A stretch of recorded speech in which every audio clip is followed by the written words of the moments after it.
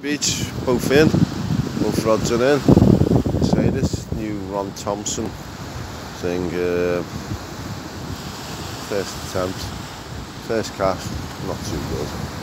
Whether it's because my hands are freezing, my hands are absolutely freezing.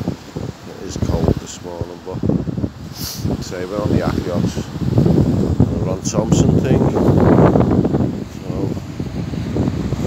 both pairs up the Akumas worms. Um, so yeah, hopefully today I might get a fish. I.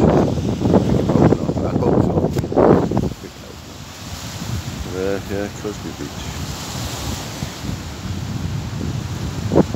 Tide's just coming in now, so I think high is about what? Half ten. So there's uh, one of them Gormley figures. So hoping it's, I think it's an 8, eight odd tide today, so I'm hoping it's alright. You know what I mean? And, uh, see where that water's still breaking, it's just coming over that sandbar now, but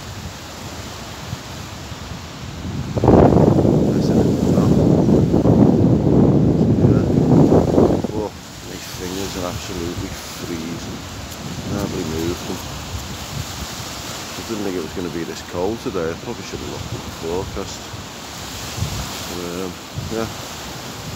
So, uh, the Achios there, it's got the thinnest tip in the world.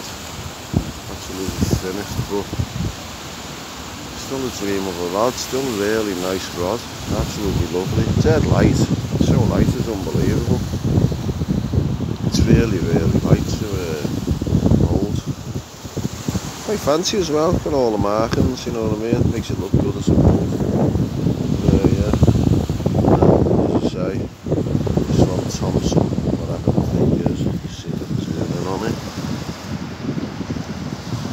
Thought I was getting a good uh, good deal, thirty nine ninety nine. jumped four doors. Looked on the website after uh, a few sites from the website, 22 quid somewhere else, no bargain at all. Oh well, there's one of those. And now, come on fishy fishy. Come on, come fishy fishy. Laters.